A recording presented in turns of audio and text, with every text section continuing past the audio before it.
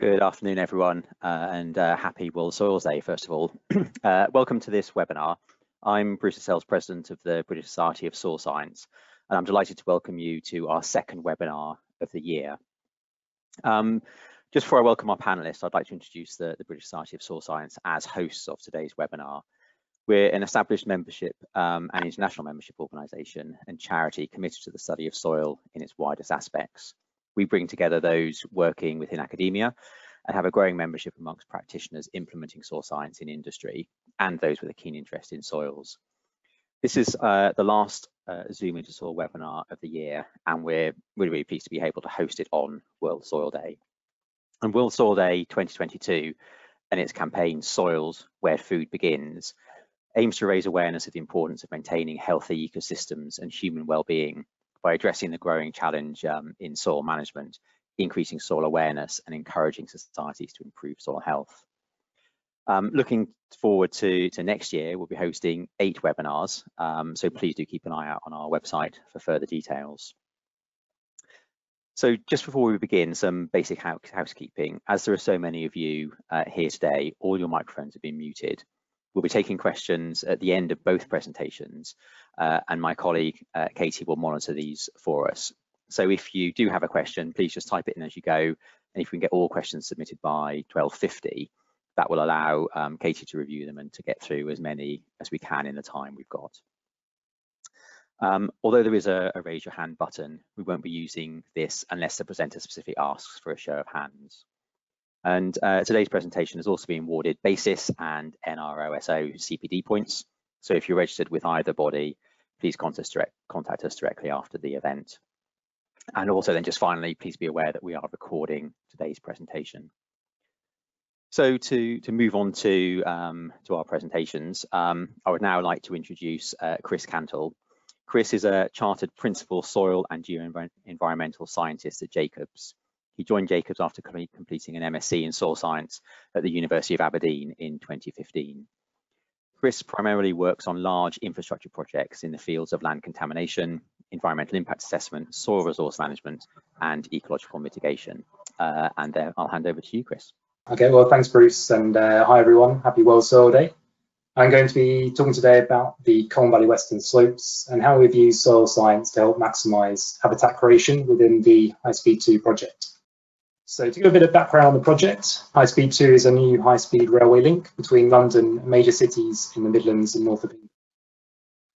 Align is the joint venture delivering the central one portion of HS2 phase one, so shown around here.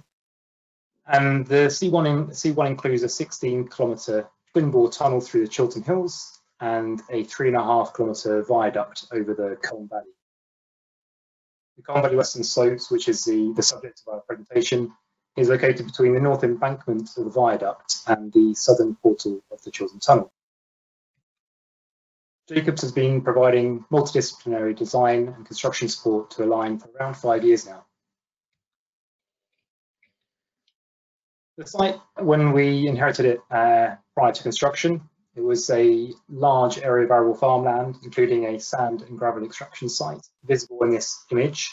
It was permitted as an authorised landfill at the time, the site lies over a principal chalk aquifer, and there are several public water abstractions nearby, so it is a sensitive water environment.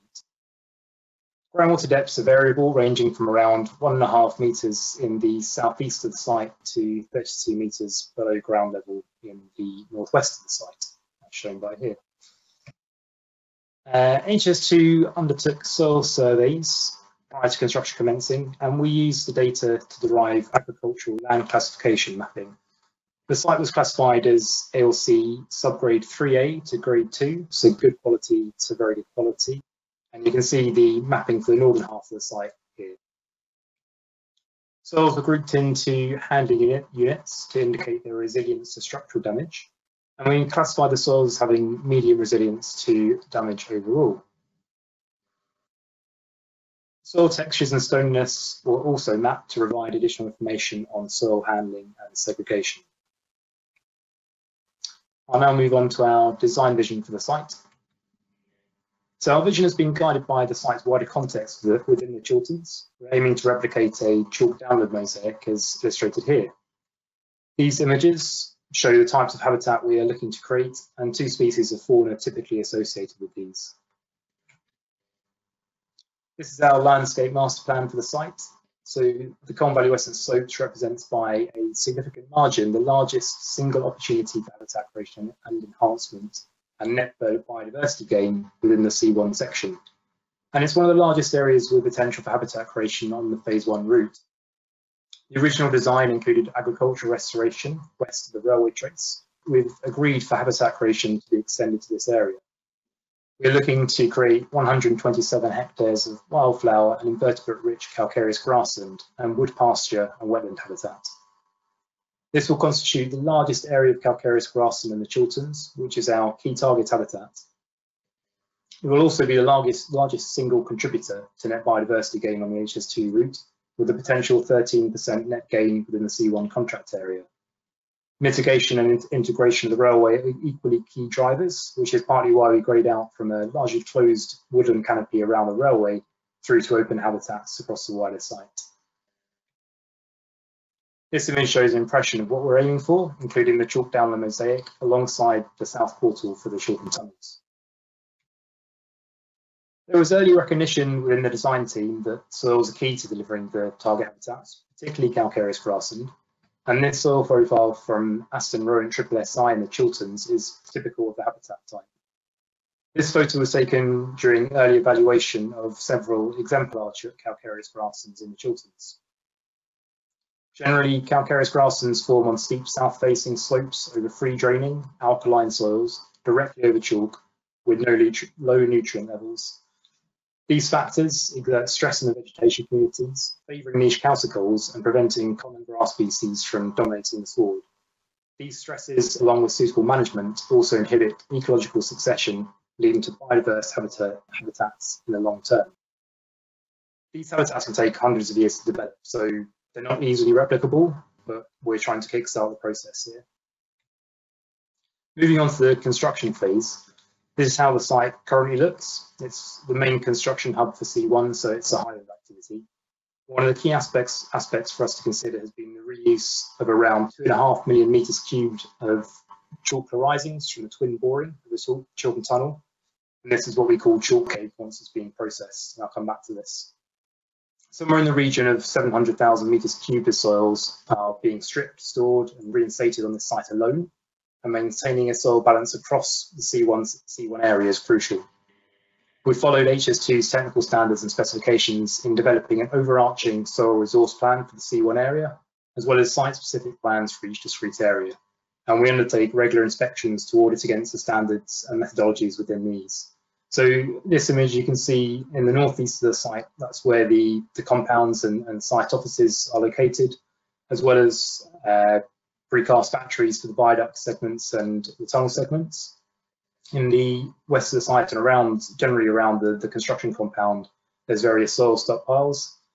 In the southwest of the site, there's you might be able to pick out a long narrow strip along the uh, the, the southern you know side of the site, and that is a trials area, which again I'll come back to.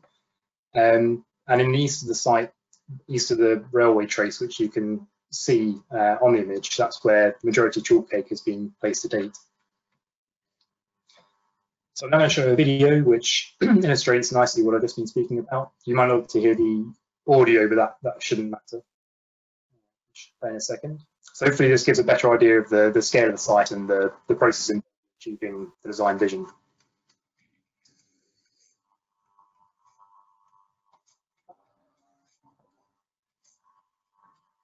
So you can see the tunnel segments there going into the tunnel, and this is uh, part of the process where it's being constructed. Here is where the chalk cake uh, is taken out following treatment within the slurry treatment plant, and then it's taken hauled around site to its deposition area. So you can see it being placed out in the landscaping here, the chalk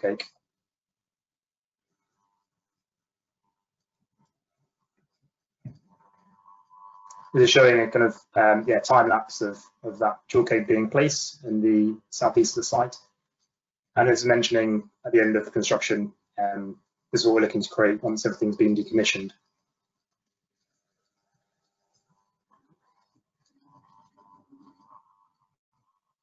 So one of the one of the key aims is for it, the site to be publicly publicly accessible in the long term. So uh, there will be a lot of footpaths for public to access the site and um, enjoy for recreational use.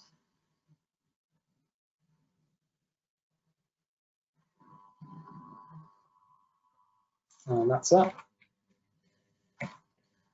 Right, I'm now going to talk briefly about our approach to sustainable remediation and materials reuse, which is important for the subsequent landscaping. When we inherited the site, there were several historical landfills and infill pits at the site, with asbestos and lead being the main contaminants of concern. Following risk assessment, including contaminant fate and transport modelling, we identified some risks which required remediation. Our options appraisal identified that the cover system was the most sustainable and appropriate solution, taking into account environmental, social, and economic factors. Since we already planned to place chalk cake across most of these areas, this only required relatively minor amendments to design to ensure a suitable depth of cover was in place for each source area. As mentioned before, um, replacing large volume of chalk cake and retaining this material on site was a key objective.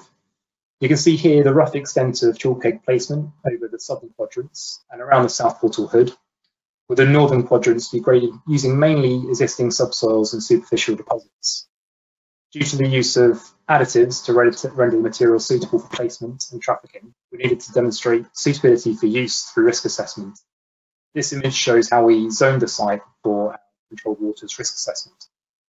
We undertook a detailed testing regime for laboratory simulated chalk cake in advance of construction and groundwater modelling to show that the material does not pose any unacceptable risks. And this is being verified through a combination of ongoing leachate testing of the actual tunnel magazines and several lysimeters installed within the trial plots. So you can see here uh, a rig that was used to install lysimeters um, and an image showing a, a typical cross section of what a, uh, this, these lysimeters installed look like within the soil profile. We're also reusing chalk sustainably on site to create water bodies of high ecological value, which I'll come onto in more detail. We've derived criteria to allow the reuse of recycled aggregates under certain conditions and are aiming to sustainably reuse temporary works aggregates, mainly crushed concrete and limestone aggregate to improve soil profile conditions within the landscaping. All of our Site-won materials are being managed under the definition of waste development industry code of practice via a series of materials management plans, and this is all um, tracked during construction. I'll now move on to the soil science challenges we faced and the solutions we have identified. Published soil mapping suggests the presence of Coombe 1 and Batcombe soil associations on site, which largely accords with the survey data. The soils, uh, the Coombe soil series is a typical brown calcareous earth and got a profile, typical profile image of this here. The soils on site are predominantly silty clay loams, which are naturally well drained. Laboratory analyses show that the topsoils are nutrient rich, as would be expected in agriculturally improved soils. However, the upper subsoils are largely suitable for the main target habitat of calcareous grassland, being alkaline and slightly calcareous, with fairly low phosphate levels, although there is a degree of variability in this. Nitrogen is low, which could result in slow rates of establishment, um, and topsoils will generally benefit from low rates of compost addition in tree planting pits particularly. These graphics show the variability in upper subsoil phosphate levels, which could be a limitation for the diversity of the calcareous grassland sward. This is being considered further within the soil profile trials, which we'll come back, back to. Available phosphate in milligrams per litre is shown on the map, along with the DEFRA index, which denotes ranges of these levels. The green and dark green points represent the level of phosphorus phosphate we would like to see for calcareous grassland, there's no clear basis for segregation from this, uh, and stockpile storage space is also limited. The two main substrates over which we'll be landscaping will be site lower subsoil, which we've covered in brief already, and the chalk cake and tunnel risings. This material represents a unique challenge for the landscaping. The nitro chalk material will be completely destructured during tunneling and subsequent processing. The hydraulic conductivity is expected to be very low post-placement in the region of 1 times 10 to the negative 9 meters per second. So it's likely to constitute a slowly permeable layer. These conditions are unlikely to be suitable for the majority of niche calcicoles, which are adapted to free draining soils. Based on the site soils and substrates available, soil profiles have been designed for each habitat, balancing a site mass haul. The profile is centered around a gradation of soil horizon depths to promote succession within woodland areas and inhibit succession within the calcareous grass. These depth gradations can be seen here across the, the grassland and woodland habitats. However, there are still challenges associated with delivering these habitats over the slowly permeable chalk cake and soils that will have had large-scale construction activities over them for more than five years. We're also looking to beneficially reuse construction materials, limestone aggregates and crushed concrete within the soils to improve their suitability for the habitats, including the aggregate layer, which is shown here um, beneath the upper subsoil and calcareous grassland. Uh, the idea being that this will help create soil, suitable soil moisture conditions and provide a long-term reservoir of calcium carbonate to sustain a biodiverse calcareous grassland sward through continued weathering. Drainage trenches are also being considered as a means of improving the soil hydrology, um, but this is all subject of the trials. So in, general, you can see we're grading from uh, around 200 mil of upper subsoil over our uh, lower subsoil of chalk cake with potentially a 100 mil calcareous aggregate layer um, in between. And then through to the woodland areas where we're going for much deeper topsoil depths um, over lower subsoil or upper subsoil, um, depending on availability, um, over the substrate. So um, yeah, we're, we're, that, that these should hopefully promote succession within the woodland areas. The calcareous grassland trials then, so as a result of uncertainties in the soil profiles, we're undertaking a series of trials to optimize the designs and reduce landscaping risks. The, the main challenge is the nutrient enrichment of agricultural soils and drainage of chalk tunnel arisings from TBMs. The trials are helping to determine the optimal soil profile for the calcareous grassland, including the use, depth and grading of the calcareous aggregate layer, the need for and spacing of drainage trenches and any amelioration required. A series of laboratory and field trials are being undertaken in tandem at Cranfield University's innovative glasshouse facilities under controlled conditions and at the same time uh, the Colne Valley Western Slopes within a dedicated trials area which you can see part of here where we've got the um, calcareous grassland plots. We're drawing on a multidisciplinary team here, including earthworks specialists, geotechnical engineers, ecologists, and soil specialists across Jacobs, Cranfield University, Tim O'Hare Associates, and the Align JV. The trials will have wider application to the industry and will contribute to HS2's learning legacy. Chris McCloskey is going to discuss these trials more in the, in the next presentation. In addition to the calcareous grassland trials, we're also undertaking wetland and planting trials across the rest of the trials area visible here. The wetland trials are evaluating the use of chalk cake as a substrate for water bodies as an alternative to puddle clay.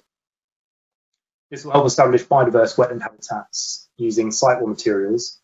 Uh, the trials are in an early stage, but initial results indicate the low permeability substrate can be achieved with the chalk cake with similar performance to puddle clay you might see from this graph here that uh, the results are variable with the chalk cake, and this is mainly due to refinement of the construction method, uh, along with some fissuring of the substrate materials during the drought this summer. So we, we do have um, one water body where chalk cake is working particularly well, um, and the clay has worked particularly well as well, um, very similar levels. And you can see the stage board here with water level exceeding one metre. The planting trials are also at an early stage with seeding undertaken, but planting yet to be completed. The intention is to optimise the use of seed, mulch and herbicides, thereby reducing cost of material imports. And you can see the one of the wetland trial bodies here alongside planting trials either side on the slopes. Climate resilience, uh, climate change resilience and carbon. So the habitats and plant species selected should be resilient to climate change impacts. The creation of natural habitats in place of arable land will increase carbon sequestration an additional 54,000 tonnes of CO2 equivalent sequestered over a 40 year period. And this is estimated to be about 7% uh, of the line's carbon impact. The carbon footprint will also be reduced by sustainable reuse materials, including minimising off-site exports and avoiding the need for material imports to support landscaping. The remediation approach using cover system has also reduced the carbon footprint by retaining material in situ. So I just wanted to end the presentation with an image of how the site looked uh, at the start of construction and our design vision for the site in the long term. Thank you for listening.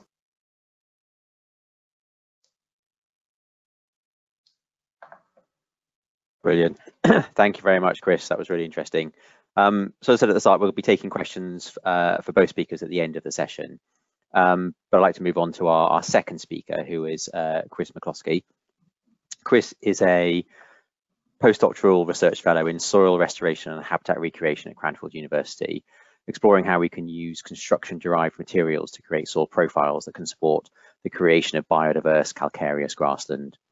Um, Chris completed his PhD in 2021, in which he explored plant-driven turnover of soil organic matter and developed improved stable isotope methods to separate plant and soil carbon fluxes. He is more broadly interested in plant-soil interactions and how these can control soil processes and functions. Uh, and Chris is also a member of the, the Society's Early Careers Committee. So over to you, Chris.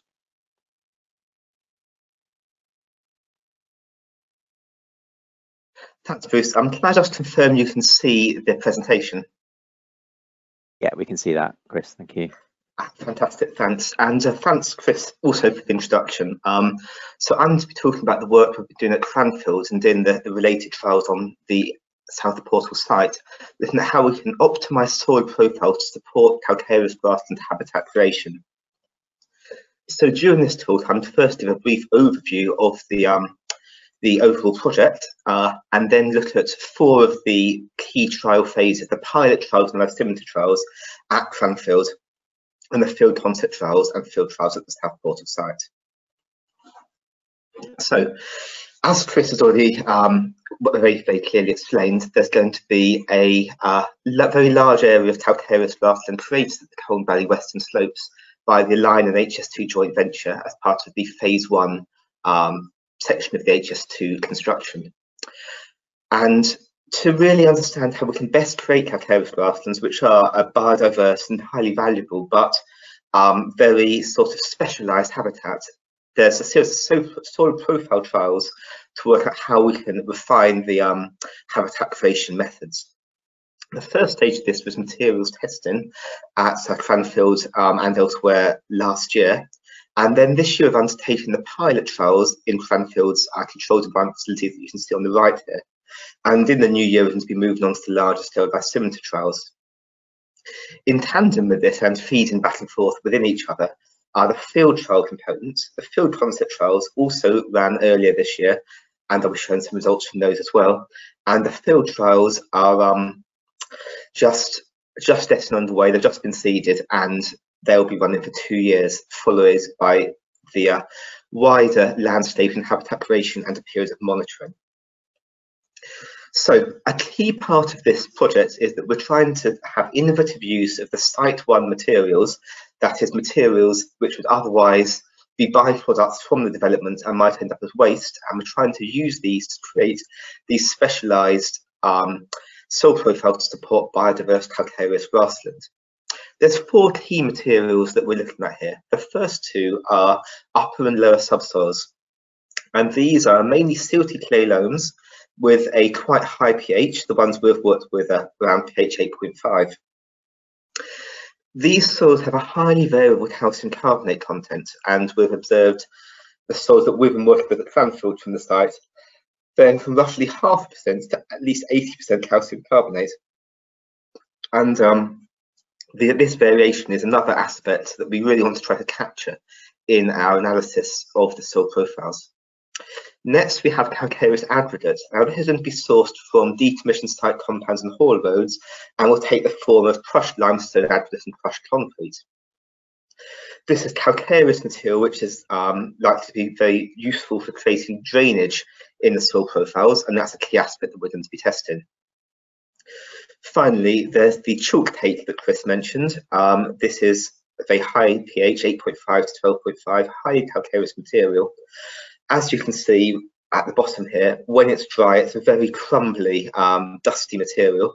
But when it's wet, it becomes quite impermeable and very putty-like. And one of the real challenges here is to work out how we can best incorporate this into the trial profile level uh, layers and what our, our best option for using it will be. So um, we've got four soil profiles we're looking to test. These all have an initial top layer down to 20 centimetres of upper subsoil. Below this, there's either going to be a layer of chalk cake or lower subsoil. And we want to test these profiles with and without that calcareous aggregate in a 10 centimetre layer to try to improve drainage and overcome the drainage limitations that we might have with the chalk cake. The first stage of this at Cranfield were the pilot trials. Um, so these were constructed in the first few months of this year. We looked at the four profiles um, and across these we also had three upper subsoil calcium carbonate levels, 0 to 10% is the low treatment, a medium treatment of 10 to 20% and a high treatment of um, 20 to 50%. Now, these were packed into soil columns which were 80 centimetres tall with a diameter of 25 centimetres, and we had 60 columns in total. Um, so that was, gave us three replicates per soil profile times calcium carbonate level treatment. These were seeded with a commercially available uh, grassland seed mix, a combination of forbs and grasses, which are suitable for growth in calcareous habitats we're pleased to say that it's successfully established in all the um, profiles and all the calcium carbonate levels, with a total of 27 species present across the trial. We have a total of 31 species present in the seed mix, and so that's a fairly reasonable, uh, fairly good, in fact, um, germination rate, given that many of these species require somewhat specialised and cooler temperatures to germinate, and the trials were seeded in mid-May this year. So obviously that was just before quite a hot period, um, particularly in the glasshouse. There was an average of 12 species present in each column, and while a, a mature calcareous grassland can develop a much higher species density, that's not necessarily a bad starting level for what's going to be a very early calcareous grassland, which will need to develop over many years. So over the course of the three-month trial, the uh, vegetation grew very vigorously. Here we can see images of a single column over uh, three one-month intervals. And as you can see, the canopy became largely closed over that period. And that was the case in the vast majority of the mesocosms. There were quite a few things we wanted to measure in the trial. Firstly, in terms of soil chemistry, we wanted to look at available P and N, particularly P, given that nutrient limitation is very important to the success of the calcareous grassland creation project. We also wanted to look at soil organic matter and organic C, in part to see whether there were initial changes in these after grassland uh, establishment and seeding. We also wanted to look at pH and calcium carbonate content to look at whether the initial uh, setup was likely to be a conducive, successful grassland establishment, and whether that might change over the course of the trial. We want to look at soil biology, such as microbial biomass and soil respiration, to assess whether there was an active biological uh, soil uh, microbial community to provide nutrients to plants. I also wanted to look at key facts in soil physics and hydrology, such as soil moisture content and infiltration rates. These are particularly important as calcareous grasslands depend on moderately to freely draining soils. And finally, a key metric was, of course, the vegetation performance, such as the initial rate of emergence, monthly measure of species diversity maximum height, and then final above ground biomass. So looking at the soil chemistry first, we found low levels of soil organic matter, nitrogen, and available P. P limitation is very important to calcareous garden success. Um, forest research gives an upper limit of 25 milligrams per litre for successful establishment of a calcareous grassland, but states the ideal value is lower than 10 milligrams per litre. Um, this is really key as high phosphorus levels in particular will allow more vigorous species um, to outcompete calcareous grassland specialists and you'll end up with just a few very competitive dominant species and not the biodiverse soils we want to achieve here. We're glad to say that of the soils we looked at here, um, which were, I should say, randomly sampled um, from the uh, stockpiles, so we weren't aiming for a particular level of nutrient content, um, these were mostly within the um, acceptable upper limits for calcareous glass in terms of extractable P. And one of the treatments, one of the soils, the one low in calcium carbonate, did fall below the lower threshold, which was good to see. Um, so it may be that we have something of a mosaic habitat here with some areas more biodiverse and others hosting other species, which certainly wouldn't be a bad thing. But we also do see that the overall levels of P in the medium and high carbon subsoils declined over the course of three-month trials. It'll be very interesting to see if this decline continues and if they also reach that ideal threshold over longer-term trials as more P is taken up by plants, and in the longer term, particularly potentially taken off-site due to, for example, grazing and mowing or harvesting of the grass. so in terms of nitrogen, there's a lower threshold expected to be required for um, healthy, at least rapid health establishments of calcareous grassland, around 0.15 or 0.2%, with an ideal range higher than that. All the soils we looked at here fell below that range um, and declined over the course of the trial. It's unclear whether this will be a problem in the longer term, though. Quite a few of the species we have present are legumes who, in partnership with uh, rhizobial bacteria, would be expected to fix nitrogen. This doesn't appear to have a substantial effect over the three-month trials. It's possible that the trials were simply not long enough to have a major effect in these soils. It's also possible that these soils used, which have been stockpiled and allowed at least to partially dry for a period of months or years, may have um, slightly depauperate microbial populations and there may have been a lack of rhizobium to colonise the roots of the legumes. This is something that we intend to look at in more detail in the lysimeter trials and we'll be able to see the longer term impact of this over two years in the field trials. Looking at the soil biology, there was initially low microbial biomass, but this increased during the trial. It remains significantly lower in the low calcium carbonates treatment. This may be because, as was seen, that one is the lowest in soil organic matter and phosphorus, so there may just be a lack of substrates and nutrients for microbial growth. We saw no increase in microbial respiration over the course of the trial, but we did see a loss in soil organic matter. Now, we wonder if that might be due to initial um, increased access by soil microbes to previously protected soil organic matter which would have been exposed to microbial attack during disturbance, such as during the packing of the columns. If so, this may not represent a long-term trajectory, and it may be that that um, was quite rapid at the start of the trial, but in the longer term, as Chris mentioned would be expected, we'll see an increase in soil carbon. This is something we intend to look at both in the long term, over two years in the field trial, but also with a higher temporal resolution with monthly measurements of microbial respiration and soil organic matter in the lysimeter trials. Looking at the soil hydrology, we, as expected, saw um, higher, higher moisture levels in the chalk cake layers. We've seen that these are very slow to drain and uh, do seem to retain moisture quite, quite well. We didn't see any differences between the moisture content at the end of the trial in the upper subsoil However, this trial was, take, uh, was conducted in a glasshouse during quite a warm weather period this year, and it may well be that during this period, evaporation from the top of the surface was, has been quite high, and therefore the effect of down profile drainage may not be so important.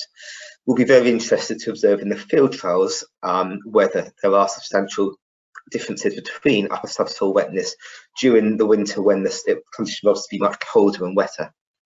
We did, however, see that the soil moisture content of the calcareous aggregate layer was much lower. Now, we weren't able to test the lateral flow through this layer subsurface that we would be expecting and hoping for in the field.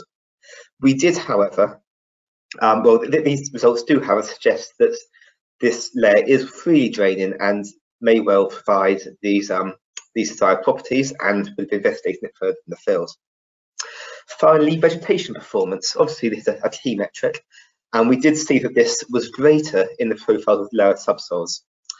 In all the profiles, we saw that the plants were able to root right down to the bottom, even through the fairly thick and impermeable chalk cake and through the, um, the calcareous aggregate layers. We speculate that the, uh, the plants may therefore, in the profile with lower subsoils be able to get more nutrients from those lower subsoils in comparison to chalk cake layers. This isn't necessarily a problem for the chalk cake treatments though. As Alf was mentioned, nutrient constraints are quite important in calcareous grasslands for species diversity. It's unclear at the moment whether there may be a lack of nutrients, particularly nitrogen, in the profiles with chalk cake in particular. this is something that we'll be looking at very closely and with great interest during the field trials. So next at and our controlled environment facilities, we're going to use what we've learned from the, the, uh, the um, pilot trials to move on to the lysimeter trials. These are going to be larger scale and longer term studies with one meter cubed soil mesocosms, then to run over six months with monthly measurements. These are therefore going to be a controlled and higher resolution, tightly monitored complement to the field trials, allowing us to observe particular processes in a controlled environment and much more closely than we would in the field. We're going to the same things as in the uh, pilot trials, but as regular root and vegetation scans to monitor above and below ground plant growth, as well as X-ray CT scans to assess soil structure, um, both how it might be affected by profile configurations and also how it might change during the first six months of grassland establishment. The other trials which have been undertaken this year were the first stage of the field trials, the field concept trials.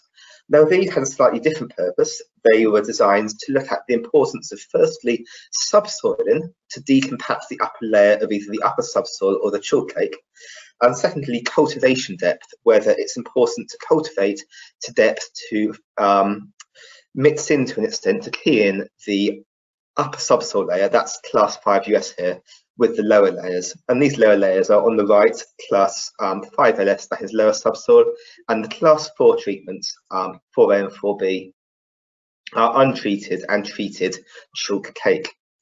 The layers you see in the middle of these with class 5E are again using the calcareous aggregate, and these are drainage trenches to see if to investigate whether it's important to have these present to have increased and enhanced lateral down slope drainage. Um, the, the calcareous aggregate layers here were not tested as they would have um, caused a problem for the deeper chisel ploughing um, keen in operation. So as you can see here, these were quite large scale trials with large bays excavated to the correct uh, depth, about 80 centimetres, and then the chalk cake or lower subsoil laid. And on the right here, you can see the subsoil in operation in the chalk cake. After the chalk cake and lower subsoil were laid and um, subsoiled, the upper subsoil was laid on top, and this was then chisel ploughed and cultivated with a power harrow, as you can see on the right here, and then seeded. Now, these were seeded in June or, or late June this year, and as you may well remember, there was a very hot and dry period in July and August and into September. This obviously is not ideal conditions for a calcareous grassland establishment. And during the trials themselves, we saw very, um, very little in terms of emergence. As a result, we didn't conduct any uh, vegetation monitoring during the trials, the three-month trial period. This photo was taken a couple of weeks ago, though, and you can now see that the grassland, um, including both grass, the grass itself and the associated forbs, is really establishing quite well. You can also see some arable weeds, which were no doubt present in the seed bank. We don't observe at this stage any clear differences between the soil profiles or the cultivation subsoil and treatments. This is something that we're very keen to continue looking at over the next couple of years. So in terms of the results we did measure, we found no substantial differences between subsoil and cultivation treatments in terms of soil physical, hydrological or chemical properties over the three-month trial period. We did observe small declines in organic carbon over the course of the trial. This is probably for the same reason due to disturbance as mentioned in the uh, pilot trials, but to a lesser extent, this would be because the soil was drier and without um, plant root activity to stimulate um, microbial activity, or at least that seems to be the, the, the most likely answer, but it's something to continue monitoring over longer term in the field trials. One thing that we monitored or that we uh, found was a major decrease in infiltration rates following cultivation, which is not what we would have expected. We wonder if this is the effect of soil sealing or the development of a hydrophobic upper layer during drought. Overall, though, this seems to be a robust system with particular cultivation options not necessarily being critical to successfully achieving the soil properties or initial grasslands establishment that we're after. Um, we're keen to undertake longer term observations of this, And there's also going to be, as Chris mentioned, longer term field lysimeter monitoring to shed further light on soil hydrology and what might be leaching out of the upper, sorry, the lower subsoil and chalk cake layers.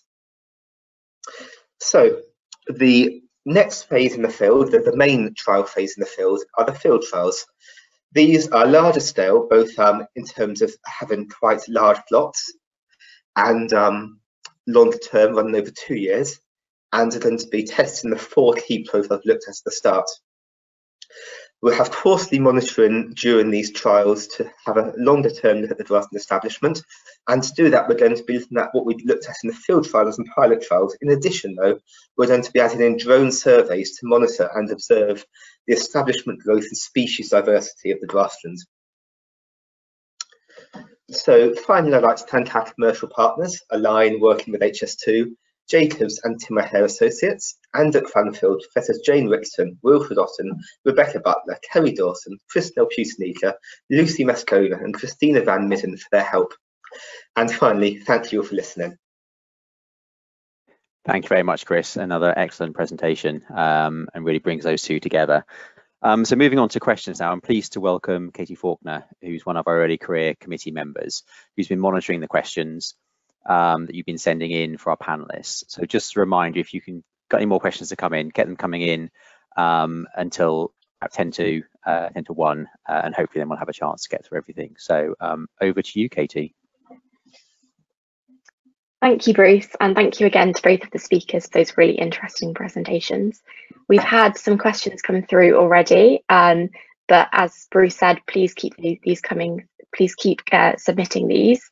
Um, so the first question that we've got is from um, Anna, and she has asked, because of the impeded percolation properties of the chalk cake, our surface and subsurface our surface and subsurface drainage systems combined with natural flood management strategies like artificial levees needed. So Chris C, do you want to um, ask that, respond to that one first? Yeah, so in terms of the the drainage, I mean, the, there's already a drainage plan um, in place, a permanent drainage plan, which doesn't include the need for any additional interventions. So in the long term, um, drainage will all flow from the landscaping quadrants out to an existing culvert uh, adjacent to um, the highway which runs along the eastern perimeter of the site. And, and that, that the drainage regime will control, well, it won't control conditions we expect the conditions to be similar to pre-construction in terms of that drainage outflow, and that's a key assumption and something that's been um, tested through the calculations. So, in terms of the actual drainage, then we don't anticipate any need for anything further. Um, the focus on drainage within our trials uh, within the landscaping is more about ensuring that we've got suitable soil moisture conditions. So that's about looking at the particularly the upper subsoil um, and the soil moisture level within that.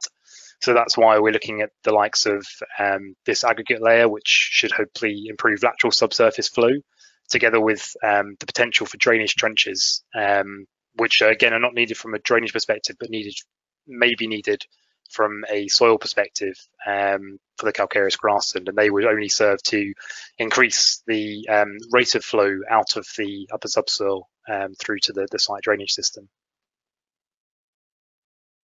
Brilliant, thank you. Um, sorry, Chris, Chris M, do you want to add anything to that too? So I was just going to add that we had at Cranfield a really interesting master's project last summer.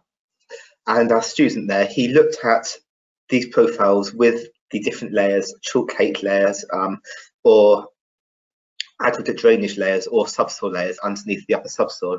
And we did find the um, the presence of the aggregate layer really did improve drainage and substantially, massively in fact, uh, reduced surface runoff and surface erosion.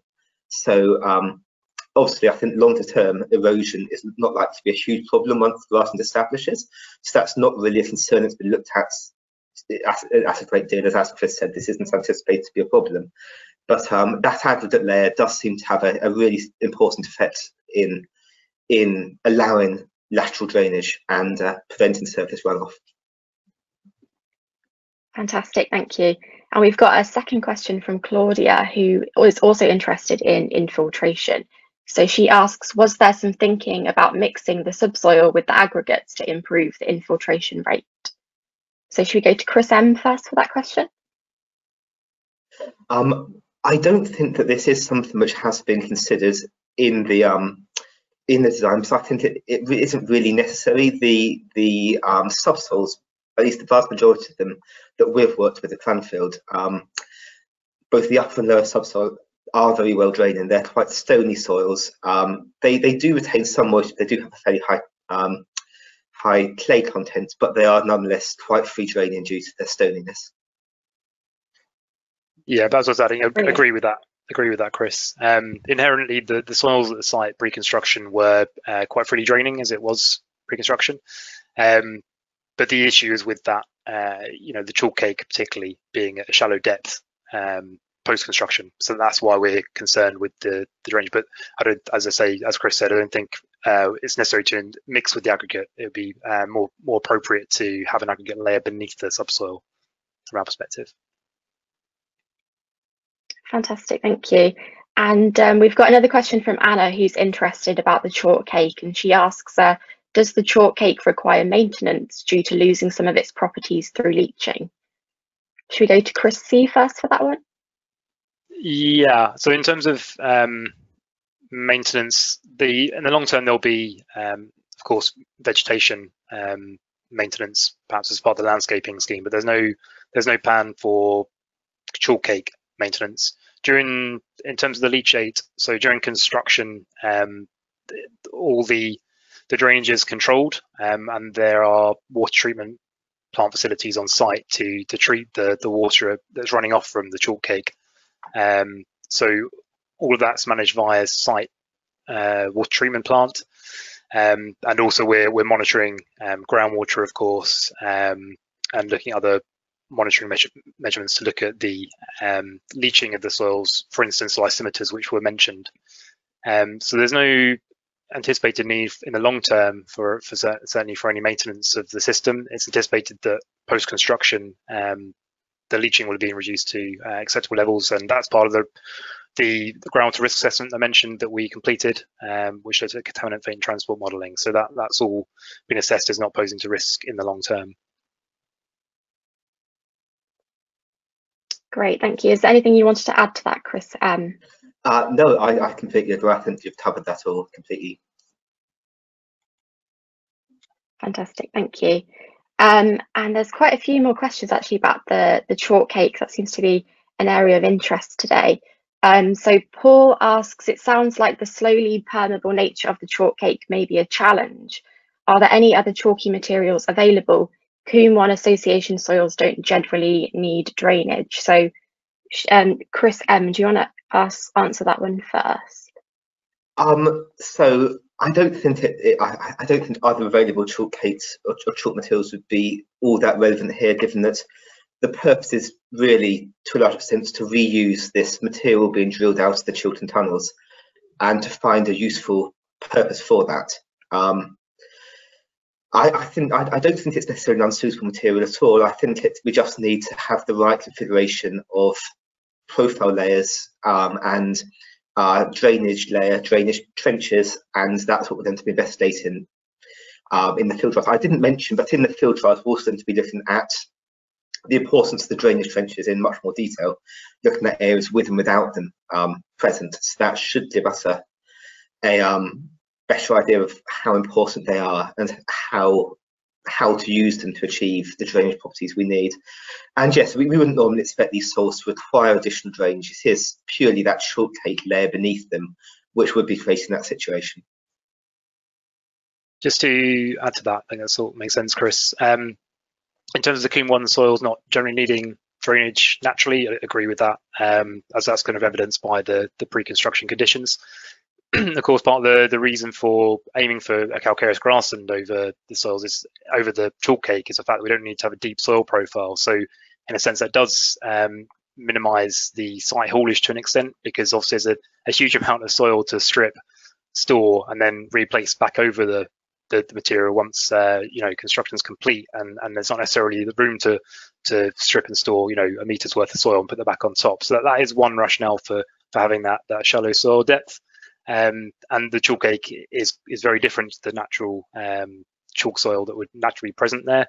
Um, there, in terms of what, what's available chalk-wise, um, there are other chalk materials available at shallow depth that are being excavated during construction, but these generally uh, need to be used for engineering fill, so around the railway trace on the embankments, because it's quite important for geotechnical properties to, to use prioritize material for, for that use. So there isn't really any um, left over for our purpose to, to use in the landscaping at, at a more shallow depth. Brilliant, thank you. And Claudia's asked another question. Uh, species development on such sites will change over many years to come. That is natural. Um, so I wouldn't read into first year results.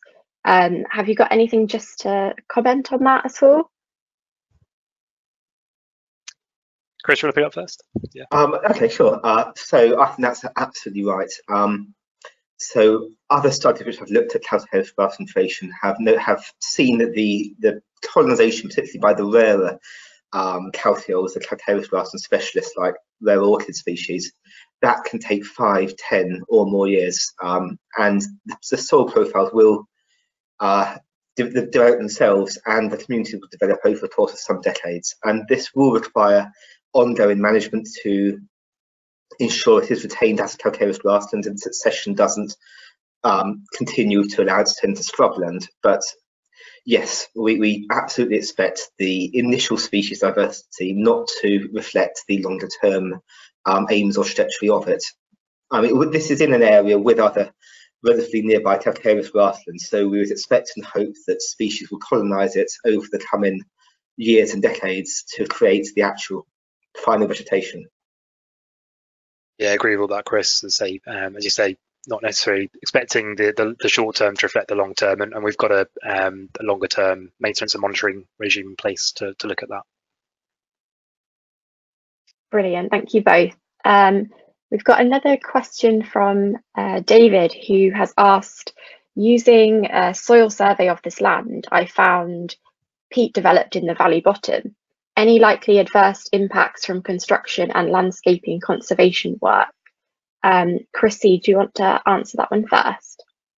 Yeah, sure. Um, we didn't find any peat on the site that we're speaking about, the Colne Valley Western Slopes. However, in the, the Valley Bottom, so in the Colne Valley, um, there were peat resources locally. So um, they've not been considered in today's presentation because the Colne Valley um, viaduct is a separate area for the purposes of landscaping, although there will be some um, interchange of soils. Um, we've obviously had to consider the, the soils, those peat soils carefully during construction um, and manage them manage them separately. Um, and the landscape proposal is still being developed for the Colne Valley, so that is being considered for um, yeah the nature of those soils being considered for landscaping in, in that area. Anything to add to that, Chris? Um, uh, at no, all? Um, I, I, don't have anything to add to that. That all sounds sounds right. Perfect, thank you. Um, and we've got a further comment from Claudia, who has said very often organic matter content seems to be regarded as critical. I would argue that organic matter levels are not as critical as long a minimum of nutrients are provided. Once the plants are established, root exudate inputs will most likely increase the organic matter over time you got any thoughts on that at all? Um, Chris M, should we go to you first this time? Um, I, I, just say I entirely agree with that. Uh, an initial amount of soil organic matter is obviously required to provide those nutrients to, to get the grassland kick-started and underway. Um, in the longer term, we expect it to build up uh, soil carbon, as I mentioned, and um, additional nitrogen should build up in the system as well, given the species we have present. Anything you'd like to add at all? I agree with that. Yeah, I mean, um, organic matter is looked at obviously as impacts on other soil properties, um, but it's not something we're we're super concerned with for the for the calcareous grassland. Um, so yeah, agree with what Chris said. Great, thank you. Um, and we've got a further question on the chalk cake uh, from Alex. He asks, uh, were uses for the chalk cake considered offsite for different types of uses? If so, what were these? Should go to Chris C first for that one? Yeah, so I mean, in short, I, I don't I don't know of any offsite uses that are considered primarily because you know that's always been a fundamental tenet of the of the design is that we need to keep the material on site. Um, it's two and a half you know two and a half million meters cubed of of chalk cake that's being excavated, um, and re retaining that on site is advantageous for a number of reasons. Um, you, you, know, firstly, um, to keep it within a similar environment, a similar receiving environment to that which it came from. Um, obviously, minimising off-site haulage um, you know the carbon and, and cost impacts of, of keeping on site are, huge. So um, I'm not aware of any off-site uses being considered. I know when we picked up the picked up this project, it was um, post it, you know, environmental statements. So uh, the hybrid planning um, hybrid bill had gone through, um, and we picked up a, a scheme design and developed it from there. But that that was always an assumption that the chalk cake would be retained on site. And um, I, I, don't know anything. I, I, don't know anything further to, to what Chris has said, and uh, I, I agree with all of that. Fantastic. Well, I think we've worked our way through all of the questions there. So um, I just want to thank you both again for the really interesting presentations and the really interesting Q&A session that we've had today. Um, and I'm going to hand back over to Bruce now. Yeah, thank you. Thank you.